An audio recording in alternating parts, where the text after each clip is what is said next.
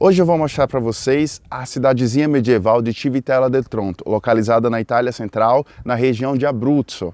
Não é um destino assim tão conhecido, mas o passeio vale muito a pena. Então vem comigo.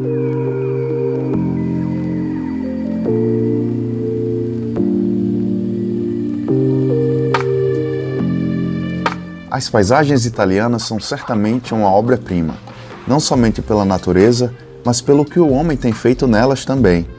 Civitella é basicamente o estereótipo do interior da Itália, com a linda combinação da geografia com a arquitetura medieval.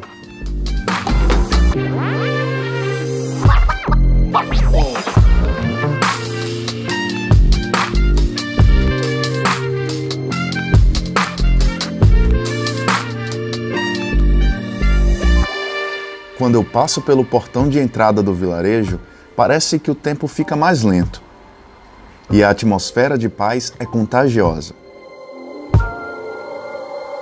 Embora os sinais do terremoto de 2016 ainda sejam visíveis, a beleza ao redor é mais radiante e me faz perceber a imortalidade desse lugar.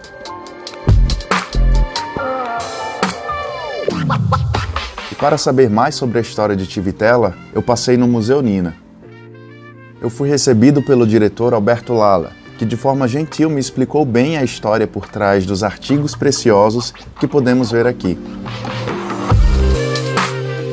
Benvenuto a Civitella del Tronto, siamo in quello che era il confine nord del Regno delle Due Sicilie con lo Stato Pontificio e per questo motivo abbiamo ad oggi ehm, la fortezza più grande d'Italia, proprio a guardia del confine, dogana tra i due stati e qui nel Museo Nina, dove ci troviamo adesso, viene raccontata tutta la storia di quella che era la città del tempo, tramite la collezione delle nobili famiglie locali che erano qui a gestire la città per volere dei re, dagli, dagli Angioini agli Asburgo fino ai Borbone del Regno alle Due Sicilie.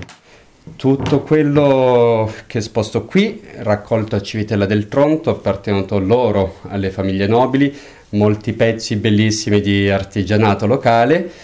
Tante altre cose, proprio per il fatto di dogana, vengono da mm, un po' tutto quello che era il mondo conosciuto all'epoca. Dal sud San Leucio Caserta, le setterie reali borboniche, Torino, Milano, Venezia, anche con i gioielli nell'armadio, fino agli abitini, gli abiti d'alta moda che sono da Parigi.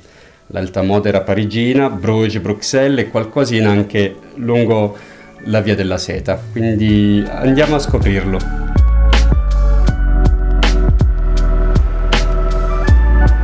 Camera da letto tipica ottocentesca, letti singoli, piccolini,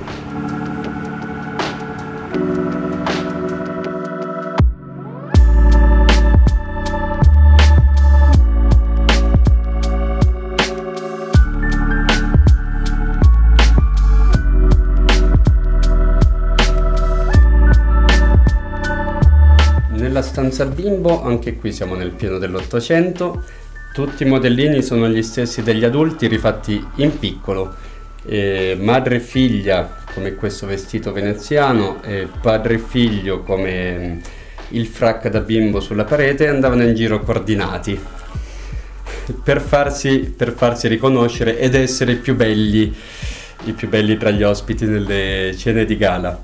E qui abbiamo... Mm, un attrezzo stranissimo, quasi una tortura per le bimbe, il corsetto che utilizzavano nell'Ottocento. Dall'età di 1-2 anni venivano strette, costrette sin da bimbe per poi crescere, anzi non crescere, col vitino cosiddetto da Vespa. Il risultato adesso lo vediamo nella prossima stanza.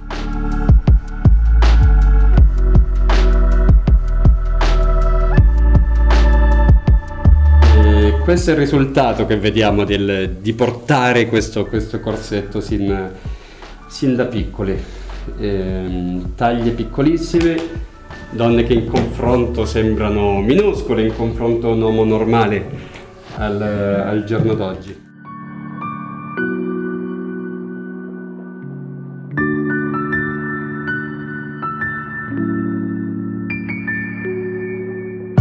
Primeira vez que eu vim aqui, eu me apaixonei por essa casa, porque ela é muito estreitinha, ao mesmo tempo ela é muito aconchegante. Eu fico pensando, como é que deve ser morar nessa casa? Eu acho que é essa a pergunta que vem na cabeça de todo mundo que vem aqui nesse lugar.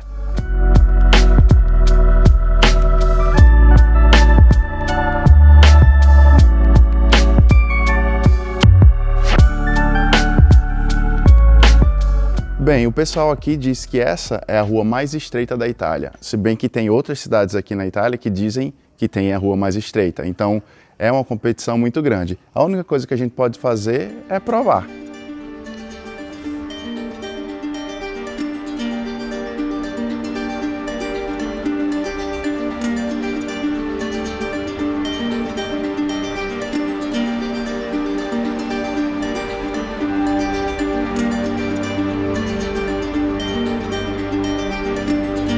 Quando eu caminho por Tivitela, eu tenho a sensação de que as ruas e as escadas aqui me direcionam para o topo da colina, e é exatamente ali onde a fortaleza está.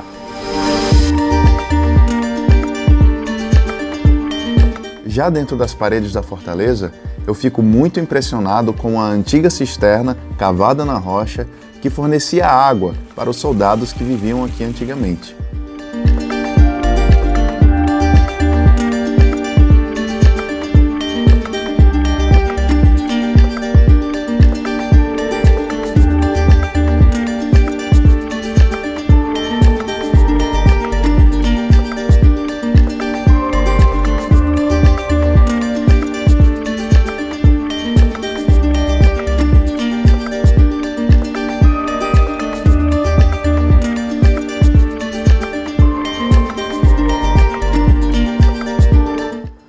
E aqui estamos nós na parte mais alta da fortaleza.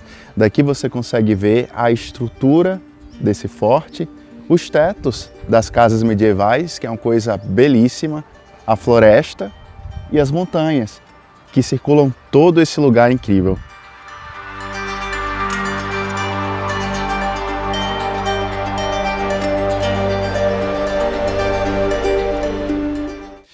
Enquanto eu estava voltando para casa, eu descobri que tinha uma igrejinha escondida em cima de uma colina aqui perto. Eu vim aqui, eu estou diante dessa igreja e, para minha surpresa, tem até mesmo um museu muito peculiar escondido no meio da floresta.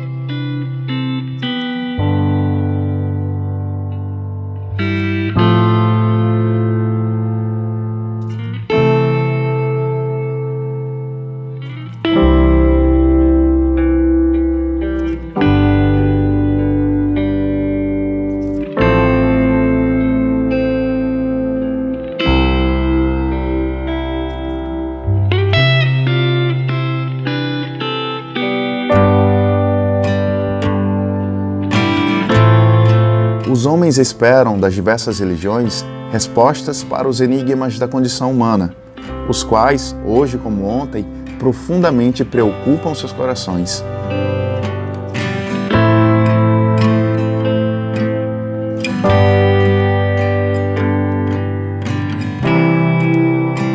De ir para casa, eu decidi parar rapidinho aqui nessa floresta, que é um dos meus lugares preferidos, próximo da cidade de Civitella del Tronto. Estou mais ou menos a uns 15 quilômetros da cidade e eu me encontro exatamente no Parco Nazionale del Gran Sasso.